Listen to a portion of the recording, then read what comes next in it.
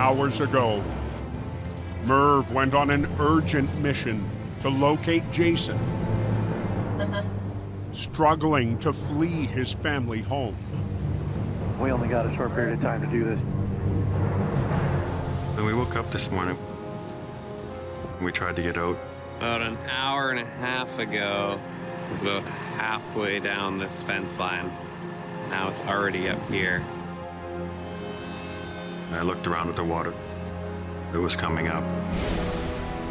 Shortly after, Jason and swamper Jordan Cummingford were airlifted out. When you're leaving something like that, it's a little bit scary, a little bit eerie.